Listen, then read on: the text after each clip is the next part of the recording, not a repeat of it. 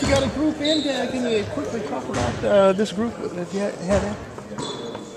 Uh, I, I thought it was a good workout. Uh, it was very competitive. Uh, John Treloar did a, did a great job of uh, organizing and, and, setting things up. So, uh, I mean, we're happy. It's still the beginning of the process for us. Uh, just evaluating and, uh, and looking at guys. Mm-hmm. Excuse June, me. Okay. Go ahead. Well, June 23rd is, is uh, rapidly approaching now. How, would you say you guys are? How deep are you into your evaluation process? Uh, I mean, how deep? Uh, I mean, as deep as you can be at this point. We've seen them all play throughout the course of the season or the college season, uh, and we've seen them in Chicago. Uh, we've begun to interview guys, watch a lot of tape, so uh, I'd say we're pretty deep. Mm-hmm. Well, you know, I don't know what to expect from this question, but I want to ask you anyway. Uh, anybody jumping out at you? Oh, it's a ton of people jumping out at me. Uh, lots of guys. Care to get specific at all? Uh, as far as uh, guys, you mean in the draft, yeah. obviously, in the workout, would be a little more. You'd be a little more okay. specific first. All right. Uh, let's let's take today's uh, guys. Uh, who jumped out to you from today's group? Every single one of them. Great, great guys. Uh, they were competitive. They shot the ball well. very respectful, easy, and good to talk to. and they're making us think a little deeper. As we get to know you in this front office here, can you give us an idea of your philosophy relative to the draft here? I mean, is it that old, you know, proverbial best player available, or you draft for need? I mean, what's your philosophy? Uh, I mean, I, I, think you know the draft is one of those uh, points in the season where you have another opportunity to add talent, uh, and uh, you always want to uh, look at the, the draft uh, very very carefully because uh, it's a chance to get better and young at the same time, which is not very easy. Uh, you know, is it a crapshoot or is it more science or art? Uh, who knows? Uh, I think we talk about uh, best available versus the, the, need, I think that's a sliding scale. you know, you tell me the names, and I'll tell you which way we would go with that. So. I think that's probably my overall basic philosophy. Walk in here knowing that you lost a dynamic force in Amar'e and you lost a player in um, uh, Jason as well. I mean, do you pinpoint that biggest need area? Do you want to look to replace a power forward, bring a power forward in, or you look to uh, more at the shooting guard? What's your biggest need here? I, I think up front, uh, we we need to get better. Uh, a little more uh, physical. Uh, and then on the perimeter, it's not a secret. we have a surplus of threes, but the off guard uh, position is, is something that we'd like to inject. Um, and then after that, it's, it's a little bit of a, a free for all in terms of who the player might be and, and what the situation might be on draft night. Is there, did it just work out this way that this is your first workout two weeks before the draft? A lot of teams already had several, but is it just a matter of schedules, or you do this on purpose to wait? I think it's a mixture of both. Uh, I mean, we've had. Uh, you, are certain we didn't have workouts. I'm, I'm yeah, presuming with that question. Well, yeah, there, there have been guys in, in our facility uh, before now, and um, also you're all, you're competing with guys scheduling wise. Saw guys in uh, Chicago, so uh, I, am not certain of what the question is, but if it's your thought that this is the first workout, it's not. And we feel confident and comfortable with the guys that we'll be able to see uh, between now and leading up to the to the draft.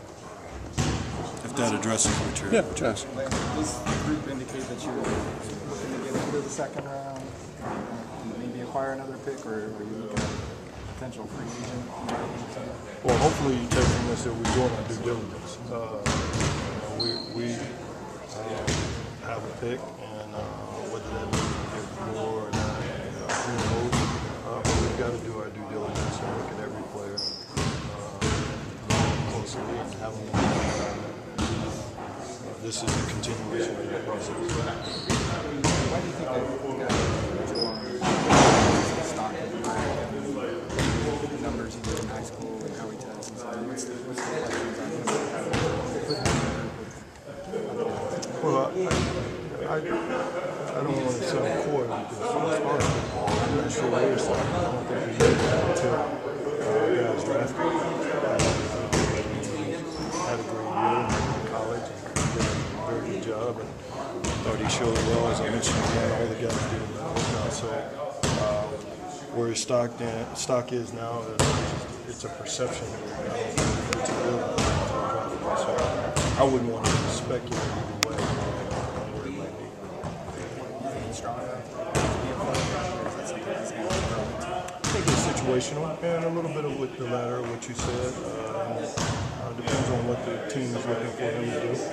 Uh, doesn't look like a bruiser uh, for sure, but he's also very young and still has a chance to grow and will continue to grow and find his way. So I think it just depends on the team and what they're looking for.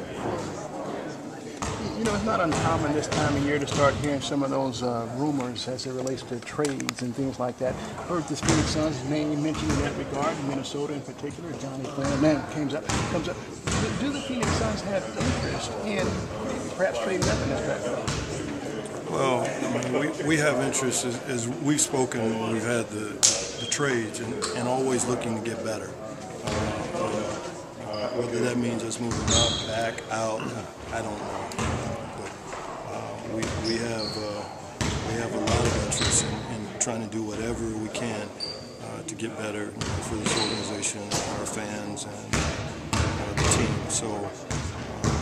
I would, I would be out of place telling you that that means we're going to move up or back or sideways for that matter.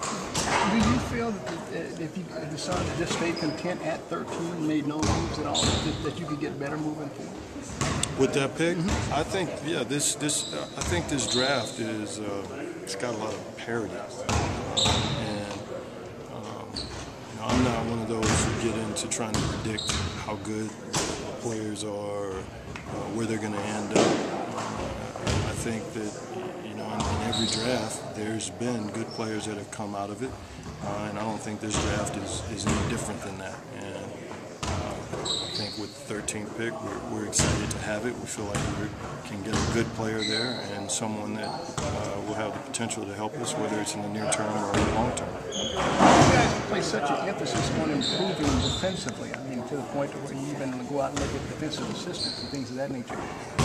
Do you look at this draft uh, primarily as feeling, feeling that you can bring in players that can help you in that regard, or is it just uh, whoever's the best is there? Uh, come, come again with the question. You, you talked about improving defensively.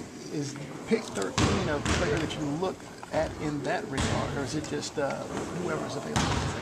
I think you tell me the list of players, and I'll tell you what we're looking at. I mean, uh, they're all guys, a lot of guys that do different things. Some guys are shooters, scorers, defenders, um, great character guys, and, and, and the like. So, uh, if you're asking, uh, are we looking for a defender at that pick? I, I don't know. I mean, we- we're looking for someone that can help us win games and uh, help put this organization back in, in the playoffs. The interview process, how much, how important is that for you? Not just this year, but you know, since you've been doing this versus just you know watching guys, but able to sit down one on one and talk to them. very important um, because uh, you think we know that these guys can play. They, they wouldn't be here at this point. They've had a lot of success at the collegiate level, uh, often at the high school level, and so now getting to know them as people is, is very important and as if not more important than, than what you see in these workouts on the floor. Um, are they going to work in, in your community? Are they going to work within your organization? Uh, are they the type of people that are going to be good teammates, uh, easy to coach, hard to coach? Uh, and you can't uh, gain that knowledge by just watching them uh, in a workout uh, situation. You've got to sit down with them, talk to them, talk about their lives and things that are important to them and not important, etc. So, very important to do the interviews. How would you characterize this group of players overall that you brought in today? solid. These, these guys are, uh, I mean, there's some NBA players in there. A lot of times, whether a guy makes it or not is situational, and who drafts him, and what they're looking for, and what the guy can can bring. So, um, this group uh, is no different. And as I mentioned with the draft in general, uh, there's a probably a player at 13 that you might be able to get at uh, 10 or 15 that could be just as good as a player drafted at five. So, uh, with the parity of this draft, I think uh, you got to be careful of, of thinking just because a player is drafted high uh, that he's going to be the best player in the draft. I think there are players that'll be pretty good that are drafted after those top guys. Most of these guys have strong defensive reputations. Is that why you happen to group most of them together today? You would have to get the details of that, uh, John Treloar. Uh, we, we, we, he puts them together, and uh, we come out and, look at them, and we just need guys that can play in the NBA and help this team and organization. Uh, and how he paired them in terms of the defenses. So JaJuan was you know, one of the best in the in the Big Ten. So I, I got to believe he offered a little bit of offense. Uh, so in terms of the pairing for defense. Uh, that, that's probably more of a, a, John question, but there's like an underlying current here of this whole. We keep hearing this defense thing with guys and guys that we're drafting for deep. What, what, what's what's that? If I can ask you guys a question. Well, you made it uh, crystal clear that this team has to improve defensively, and uh, watch this group of players that we've seen here in the past. We don't know if that necessarily uh, translates to those type of players. So maybe you're looking to bring in players that can help you in that regard. So that's why we got so. okay, I got it. Yeah, well, we're looking for guys that can can help us get back in the playoffs and move this organization forward. Uh, we feel like we need to get tougher, but. Uh, it doesn't mean that we don't want to score points. You got to score points to win to win basketball games, and a lot of these guys can, can do that as well. The unknown of the next CBA does that get any more difficult to do like uh, trades involving the personnel payroll because you don't know what you're going into as far as a cap and those sorts of things. That's the question. Is the new CBA? Just not knowing what the new CBA is going to be make it harder to make a, a trade that would change the game of personnel. I don't think it makes it harder. We just we just don't know what the new CBA is going to be. And, you know, we can all come up with ideas and thoughts about what we think it'll be, but I think if if uh, our focus is on making this the best organization, the best basketball team that we can put on the floor is the main focus, which it is, then you have to let all the rest of it take place. I mean, we're, all experts and professionals in this. That's our main focus. And as far as trying to predict what might happen or not happen with the, with the season, we're not even there. Can you talk about what you have for that group tomorrow? I can, but I'm not. You're capable. I'm but you're capable. I'm capable, but I'm not willing. So, how would I do that? Then that, then that would just be promoted and tweeted out. Can't tell a Well, playbook. that's what people want to know. The- They, they, want, they want to know what you, what you guys think relative to uh, prospects. But I, that- I mean, that would be like Alvin showing up his last play call to finish a game. Like people want to know that, but why, why, would- why would you do that? It, it, it's just inquiring minds. want to know. Well, and then you catch me in a trap if we if we change course or someone cancels, which I'm starting to hear might be a possibility. Now I've told you something, and I've breached our trust, your confidence in me, and now you think that I'm a dishonest kind of guy. And I, I would hate to do that. I want to maintain credibility and a good relationship with you guys as I answer the last two questions, and not tell you something that may not come true. Let me ask you, would you be surprised if a deal was made before the expiration of the season? Nothing in the NBA ever surprises me. Would you be inclined to uh, do something from that standpoint, from a Suns' uh, uh, viewpoint? If it made sense to better this organization, absolutely. You can't be afraid to try to get better. All right, Mr. Blank, appreciate that. Thank you. Uh, Seriously, any going in, in Europe with uh, Chris Mark Biombo. Biyombo. He's got to work out in Italy this week. You've heard of that? we have an international scout who takes care of that. We've got people who've seen him and are aware of that situation at a high detail level. Did you see Vesely play this week? Did I- did I? You, your organization. Our organization has seen him a lot. We've seen we've seen him a lot and are very very aware of him. Any other th- anything else? And does Mark West have anything uh, left in the tank, player-wise? You don't. You might have to a- talk to Mark. I- He might. That'd be cool. Not There's some defense He's for not you. good in the lottery.